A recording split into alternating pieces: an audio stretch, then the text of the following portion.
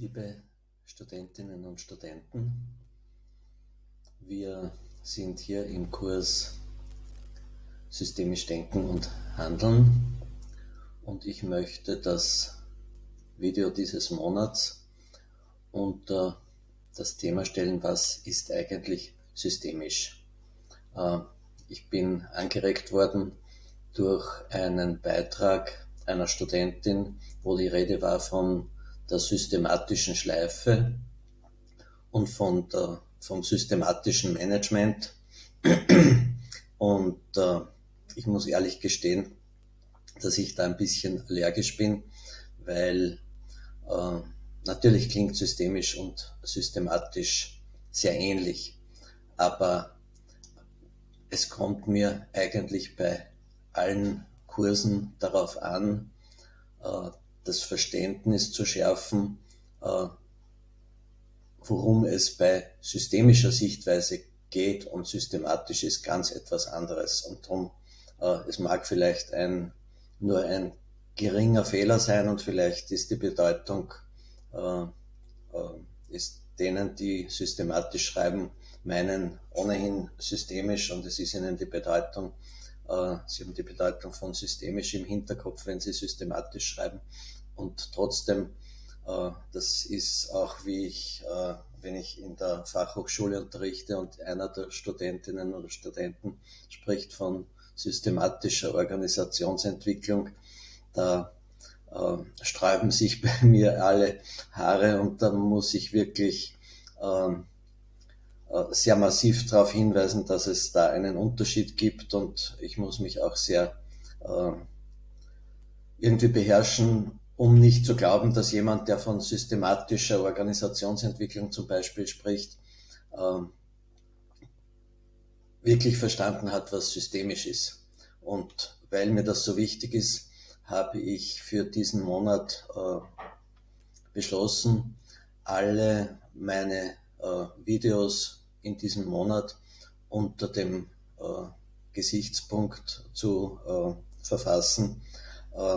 Was ist der Unterschied jetzt zwischen systemisch und systematisch? Was ist der Unterschied zwischen systemischer Organisationsentwicklung oder systematischer Organisationsentwicklung?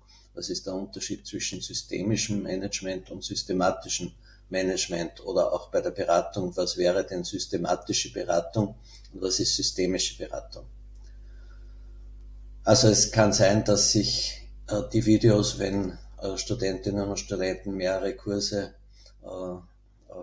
gebucht haben, zu denen ich Videos mache, dass das vielleicht ein bisschen redundant ist, weil natürlich manche Argumente und Aspekte sehr ähnlich sind, aber es gibt ja auch viele Studentinnen und Studenten, die nur Einzelkurse gebucht haben oder nur einen meiner Kurse oder der Kurse, wo ich auch die Ehre habe, die Videos dazu zu machen.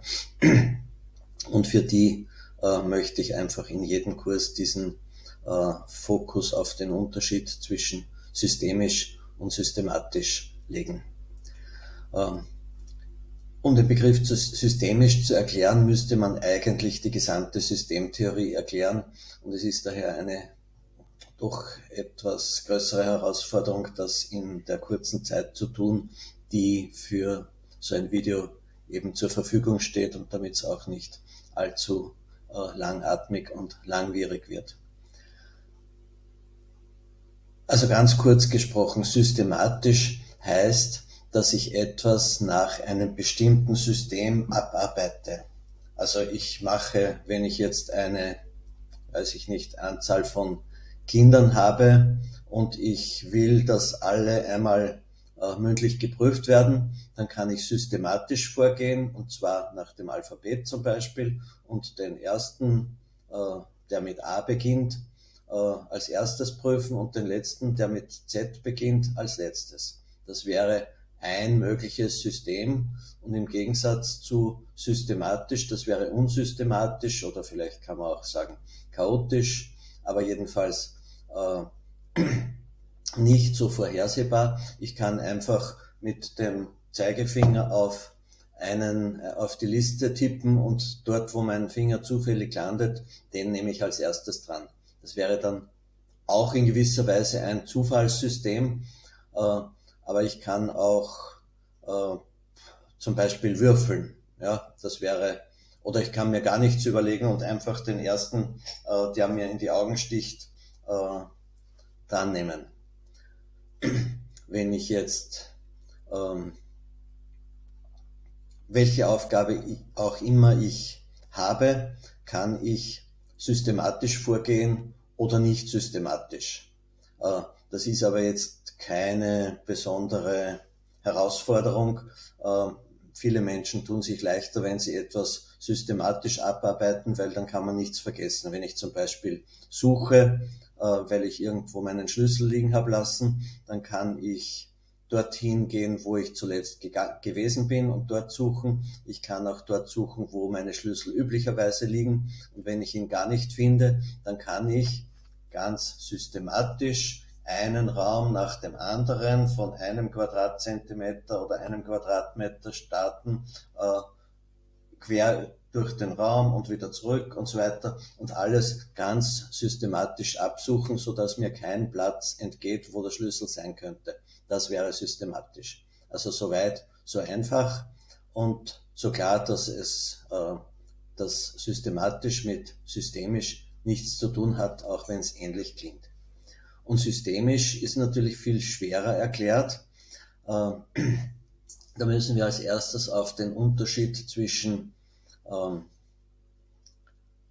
einem sogenannten trivialen System nach Heinz von Förster und einem nicht trivialen System äh, beleuchten. Und das klingt jetzt auch wieder etwas kompliziert. Ein triviales System ist nichts anderes als ein einfaches, ein durchschaubares System. Äh, trivial heißt nur, dass es simpel ist.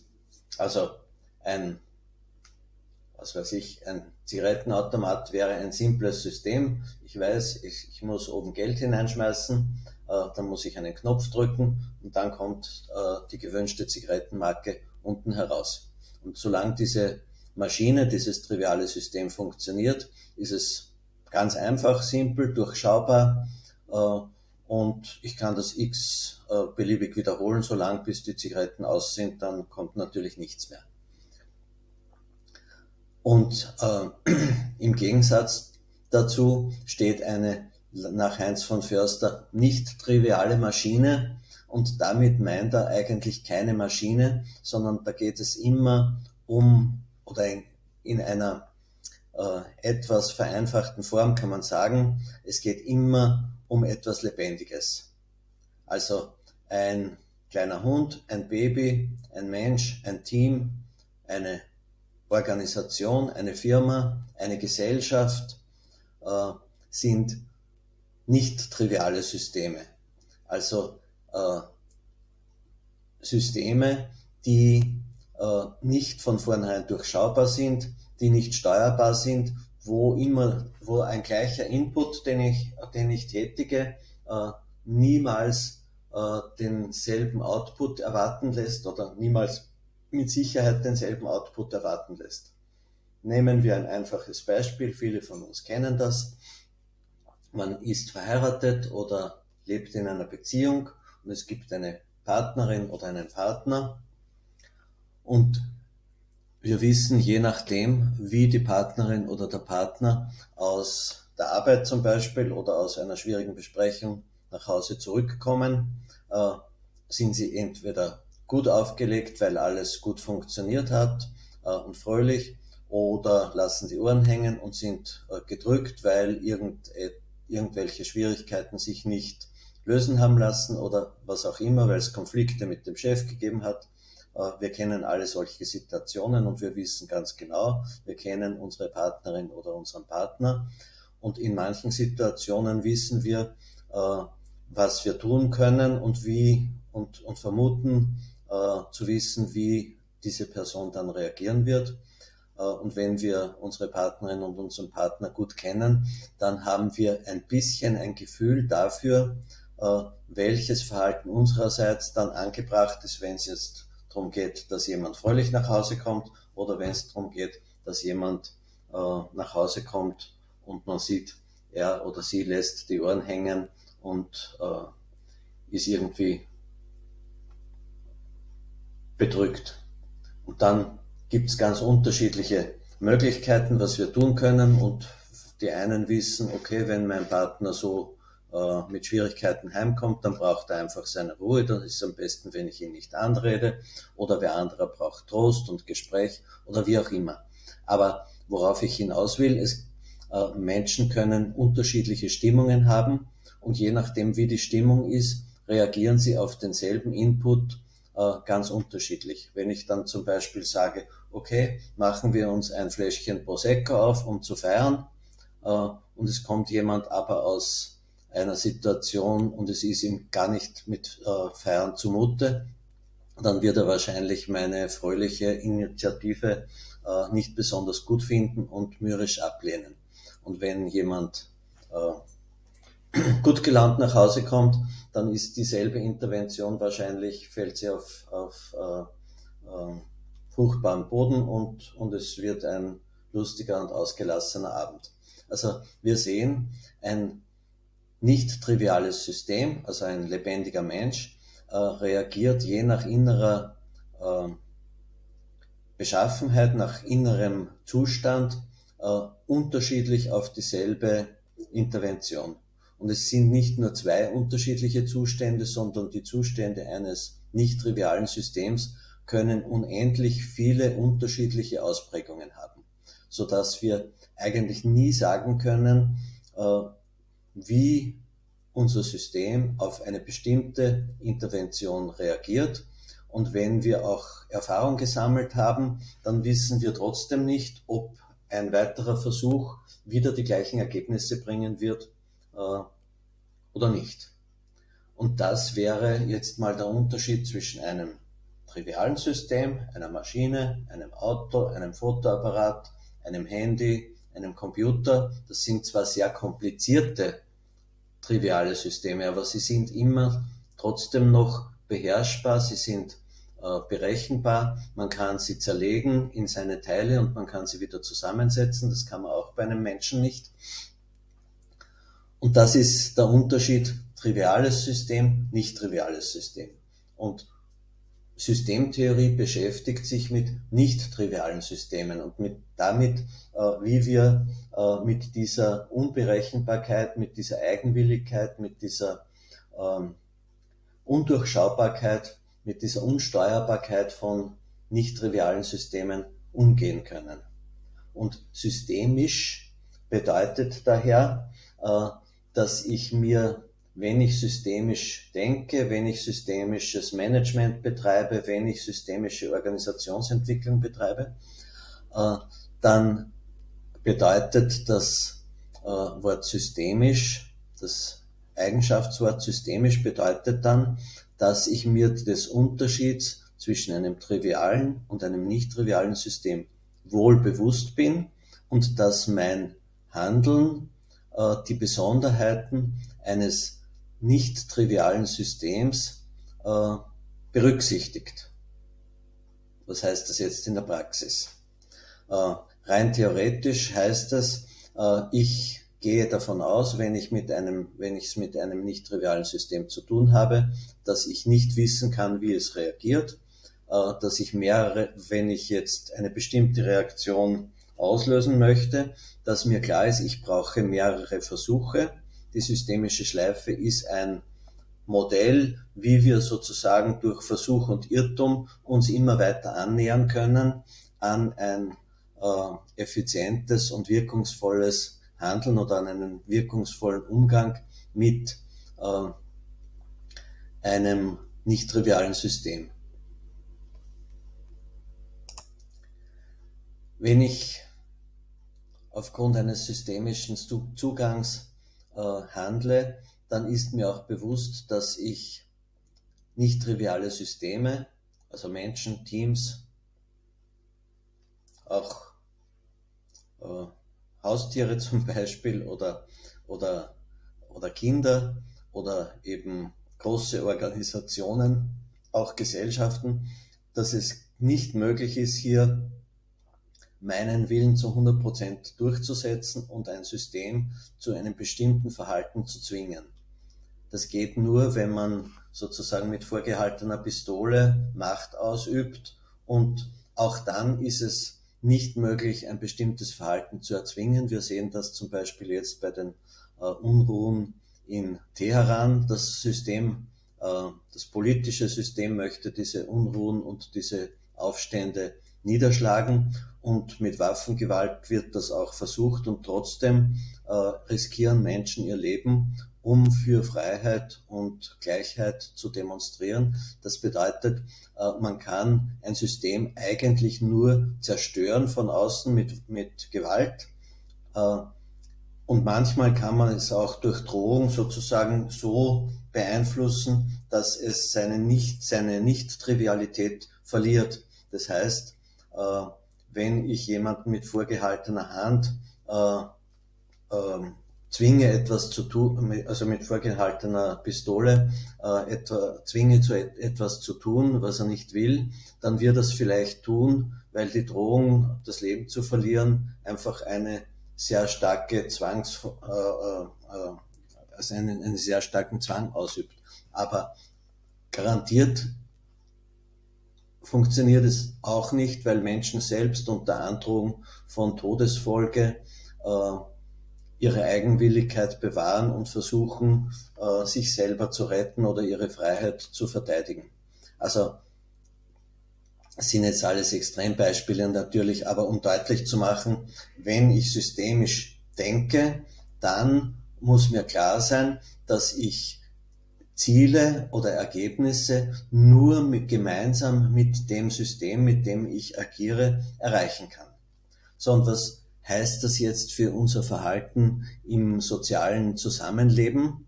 Äh, das heißt, dass hierarchische Formen des Umgangs eigentlich obsolet sind, dass es nicht reicht und auch nicht funktionieren kann, wenn wir jemanden anderen äh, zu einem bestimmten Verhalten bestimmen und zwingen wollen. Das ist im äh, Kontext von Mitarbeiterführung genauso relevant wie im Kontext von, äh, von Pädagogik zum Beispiel. Wir können auch Kinder nicht zu einem bestimmten Verhalten mit Gewalt zwingen, sondern äh, wir können so, solche Steuerungsinterventionen nur äh, setzen und müssen äh,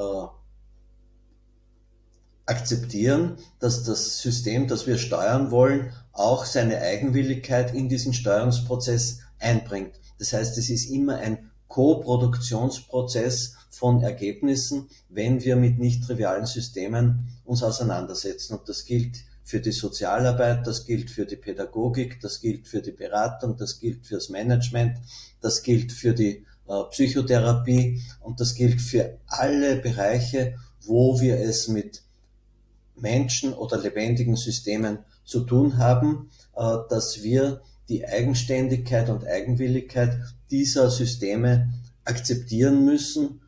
Und das ist die Grundlage dafür, dass wir überhaupt Steuerungsziele erreichen können. Und wenn wir das ernst nehmen, äh, dann müssen wir uns auch äh, klar machen, dass ein hierarchisches Gehabe, ein soziales oder psychologisches Gefälle äh, von Über- und Unterordnung einfach in so einem Zusammenhang nicht angebracht ist. Das heißt, weder eine betriebliche Hierarchie noch ein autoritäres äh, Erziehungssystem sind angemessen, wenn wir diesen systemischen Ansatz akzeptieren. Das heißt, systemische Ansätze in der Pädagogik, in der Therapie, im Management sind immer auch egalitäre Ansätze. Das heißt, wenn wir äh, systemisch agieren, handeln und steuern wollen, dann müssen wir auch versuchen, auf Augenhöhe mit anderen zu, äh, zu kommunizieren und deren Eigenwilligkeit, deren eigene Ideen, deren eigene Vorstellungen in unser Steuerungs, in unsere Steuerungsbemühungen einzubeziehen und gemeinsam mit anderen können wir dann Ergebnisse erreichen und diese Ergebnisse sind natürlich nicht genau die, die das gesteuerte System äh, haben will, sind aber auch nicht genau die, die ich als der, der steuern möchte, äh, beabsichtige. Das heißt, es ist ein Koproduktionsprozess und es muss immer äh, davon ausgegangen werden, dass das Ergebnis des Steuerns Kompromisse sind, äh, weil ein hundertprozentiges Dominieren eines anderen lebendigen Systems de facto nicht möglich ist. Also äh, das systemische Ansatz, das systemische Denken impliziert auch auf der äh, Ebene, auf der Verhaltensebene Änderungen und dahinter liegt eine Ebene der Haltung und diese Haltung muss sehr stark, wenn wir, System, wenn wir das ernst nehmen, äh, dass Systeme eben so beschaffen sind, also wenn wir diese Realität der, der, der, äh, des Seins von Systemen akzeptieren, dann müssen wir äh, versuchen, äh, eine Haltung zu entwickeln, die äh, andere respektiert, also Respekt, Achtung, Kommunikation auf Augenhöhe, überhaupt Kommunikationsorientierung, weil durch Kommunikation wird sozusagen, werden die unter, unterschiedlichen Interessen, äh, die unterschiedlichen Wahrnehmungen, die unterschiedlichen Zielsetzungen erstens bekannt und zweitens können sie durch die Kommunikation und durch die Diskussion auch angeglichen werden. Also ihr seht, wir haben die Zeit für, äh, für so ein Video schon etwas überschritten. Äh, es gibt da noch sehr, sehr viele Implikationen, die wir aus dem Begriff systemisch ableiten können. Zum Beispiel ist äh, sozusagen geht das bis in die Philosophie hinein, wenn wir zum Beispiel über äh, Schuld oder Schuld und Sühne äh, nachdenken, dann impliziert ja unser herkömmliches Konzept von Schuld, dass jemand etwas tut, wo er von vornherein wissen hätte können, dass es Auswirkungen hat nämlich negativ auf andere Personen, äh, die man in Kauf nimmt oder die man sogar absichtlich äh, hervorrufen möchte. Jetzt ist es im Umgang mit Systemen allerdings so, dass wir nie wissen, äh,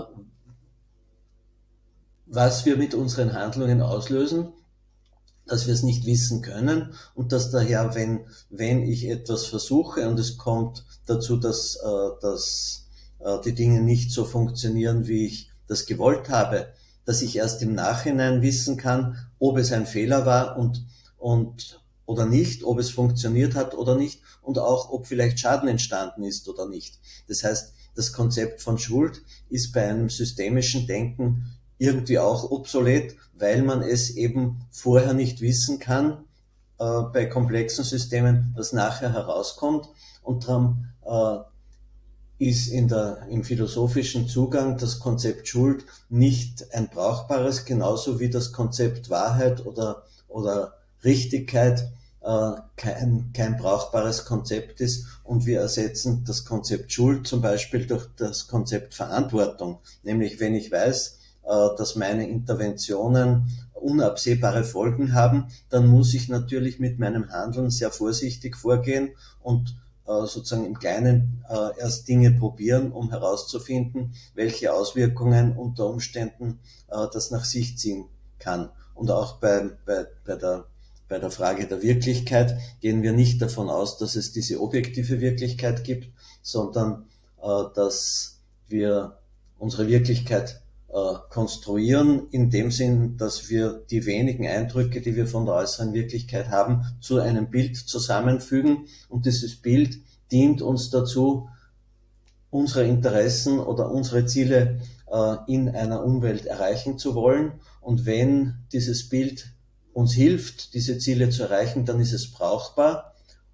Ob es realistisch ist oder wie real dieses Bild überhaupt ist und was überhaupt aus unserer Sicht als Realität angesehen werden kann, über das machen wir uns keine Gedanken, sondern es geht um die Frage, haben wir mit diesem Bild einer Wirklichkeit eine gute Grundlage, in der Auseinandersetzung mit der Umwelt unsere Ziele zu erreichen. So, und jetzt muss ich aufhören, äh, weil man hier natürlich noch unendlich viel weiter diskutieren kann. Ich hoffe, es ist gelungen, den Unterschied zwischen systemisch und systematisch äh, darzulegen und ich hoffe, dass ich äh, in den äh, Beiträgen von den Studierenden den Begriff systematisch nur mehr dort äh, lese, wo er auch wirklich passt. Alles Liebe.